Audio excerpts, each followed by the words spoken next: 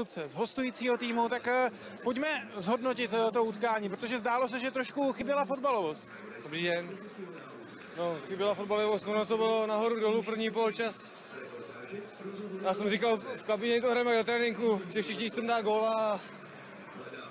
No podle mě nám asi první poločas ta šťáva, aby tam, aby, a pak tomu chyběla ta fotbalovost, no, ale já myslím, že se ten fotbal musel líbit, že to bylo prostě dravý a myslím, že hodně běhavý na těžkém terénu, takže jenom škoda, že nepadl gól, no.